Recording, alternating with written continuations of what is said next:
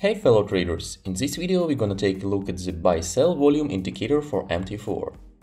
You can download the indicator by the link in the description below. To run the indicator, simply drag the buy-sell volume indicator from the indicator list to your MT4 chart. And please don't forget to click on the Allow DLL Imports in the settings window. The buy-sell volume indicator determines the strength and weakness of price movements. In the live market, we always intend to join a bullish or bearish move that shows better strength in the background.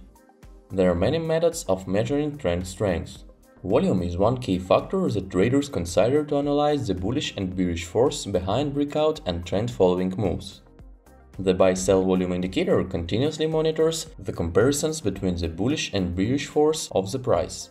However, it doesn't demonstrate a direct buy-sell signal, Instead, it helps you to filter and pick the best trade setup based on the volume strength. So how to trade using the buy-sell volume indicator in MT4 platform? The buy-sell volume indicator uses a dotted curve to show the increase and decrease in market volume. Also, the indicator level changes its color to confirm the bullish and bearish momentum. The indicator curve turns green and the volume keeps increasing. We consider it as a sign of potential bullish move.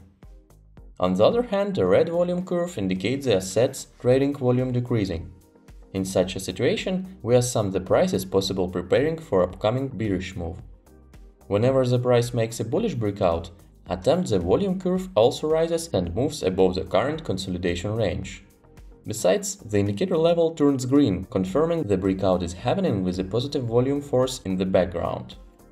For filtering a sell setup, make sure the volume curve turns red and shows the increasing pattern. It is ideal to pick a selling opportunity when the price makes a bearish breakout and the indicator value drops at the same time. Buy-sell volume is an important technical indicator for both currency pairs and stocks, because it gives a practical overview of buy-sell demands of the trading assets.